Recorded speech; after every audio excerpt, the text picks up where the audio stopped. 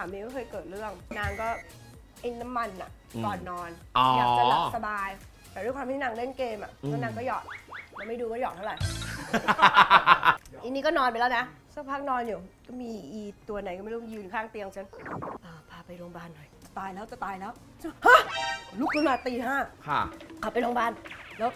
คนที่มันอีเนี่ยเนาะ มันก็จะเห็นภาพอะไรเงี้ยที่อ๋อว่าขับรถเร็วนะก็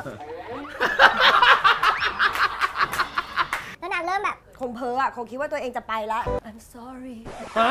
ภาษาอังกฤษภาษาอังกฤษ อยู่ดีๆ ก็เก่งภาษาอังกฤษ I'm sorry I'm so sorry I'm sorry แล้วก็จะเซ็นเอกสารจะมอบพินัยกรรมทุกสิ่งอย่างให้ฉันแล้ว พอสักพักหนึ่งหมอบอกว่า เหมือนจะเข้าแบบไปอยู่ใน ICU มั้ง ต้องค่ะเปิดห้อง 48,000สาบาน พอผัวผัวจะเซ็นปุ๊บเอ้ยผมหายแล้วว่ะ